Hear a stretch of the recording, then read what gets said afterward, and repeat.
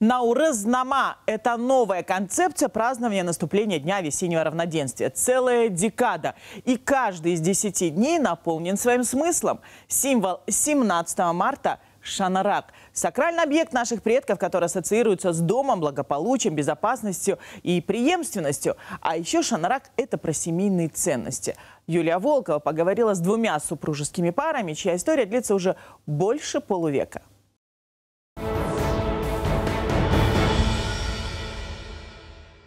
Суббота, воскресенье мы едем на рыбалку. Наготовим всего еды, все, едем. Я-то поймаю, у меня крупная ловилась, да? Но я ее снять не могу, она туда-сюда. Я боюсь. Ты пищит же, когда бил. Супруги Сердюковы вместе 53 года. Двое сыновей уже подарили им четверых внуков, а история знакомства Анны и Валерия началась в 1971 году. И она достойна настоящего фильма. Как все молодые девушки гадают, суженые, ряженые. Приходи, да? Бабушка нам дала вот такой деревяшки, вот из печки вытащила остывшие. Говорит, идите в одну сторону, в другую. Вот кто вам встретится, спросите, как тебя зовут. Вот так и будет звать твоего мужа.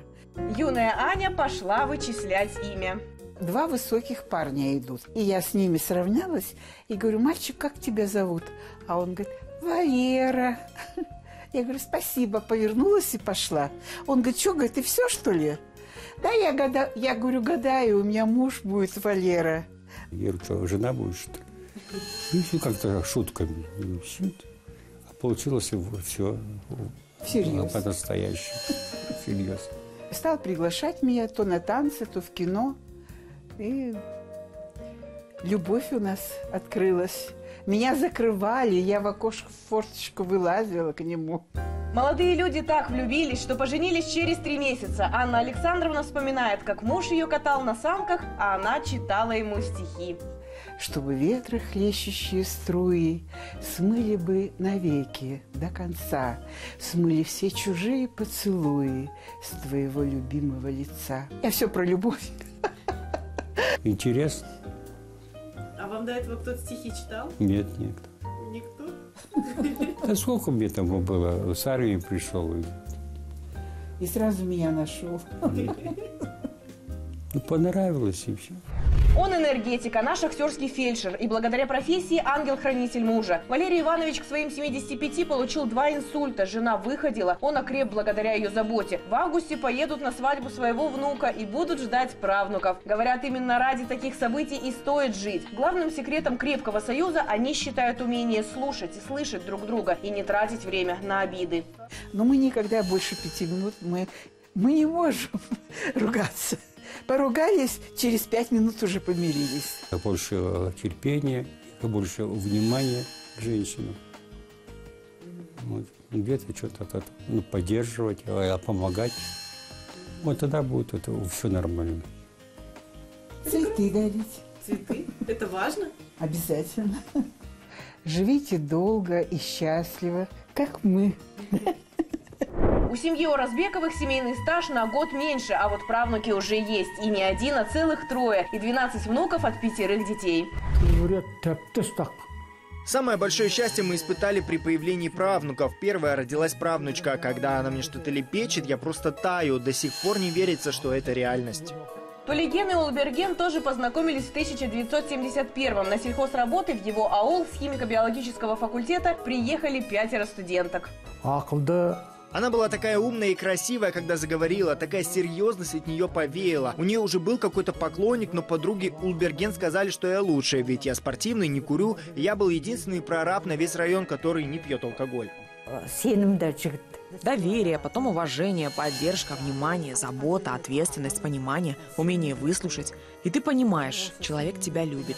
Разводы из-за того, что просто влюбляются во внешность, но не делают друг для друга ничего. үй болу мәселесі туралы қозғадым ғой Дружили год, а потом я заговорил про семью, но Ульберген сказала, что еще на год уедет работать в аул. Дождешься? Молодец. Я даже думал ее украсть, но потом решил ждать и писал постоянно письма. На второй год знакомства пара поженилась. Еще через год родился сын. Супруги, говорят, никогда не разделяли обязанности на мужские и женские. И именно это считают главным в семье. қайсымыз үйге бірінші келеміз Мы не сравнивали, кто больше устал и кто больше работал. Он был прорабом, я педагогом в школе. И кто первым пришел домой, тот начинал готовить ужин. Мы взаимно заботились друг о друге, не думая о том, кто, что и кому должен, а делали все от души. Каждые выходные в этом доме собираются дети, внуки и правнуки, делятся успехами, просят совета или просто играют на домбре и поют.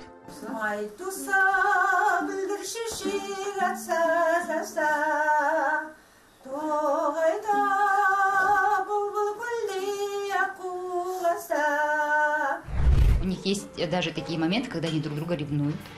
Да, есть такое. Стараются быть рядом друг с другом во всех каких-то вопросах, а, во всех каких-то проблемах поддерживают друг друга, советуются. Естественно, это мы, говорю, пример для нас, для внуков. Для меня в первую очередь бабушка, дедушка – это опора.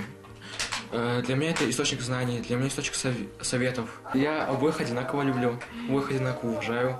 Нельзя ругаться э, с бабушкой дедушкой, ссориться, потому что они прожили намного дольше, они увидели, увидели намного больше. А Глупость не скажут, надо всегда слушаться.